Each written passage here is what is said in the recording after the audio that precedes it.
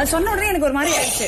We push people to eat அது இதை என்கிட்ட திணிக்காதீங்க. உங்களுக்கு இது- திணிக்க இதெல்லாம் வேண்டிய தான் அவசியம் பிரச்சனை கிடையாது. வந்து இந்த வீட்டுல டெய்லி சர்வ் பண்ணி இந்த நாலு பேரு நாலு விதமா பேசுவாங்கன்னு சொல்லுவாங்களே அந்த நாலு பேர் நீங்க தானே? சென்னையோட வந்தேரி. நாங்க எல்லாம் நாங்க எல்லாம் சேர்ந்து கட்டின சேர்ந்து கட்டின சென்னை சிட்டி தான்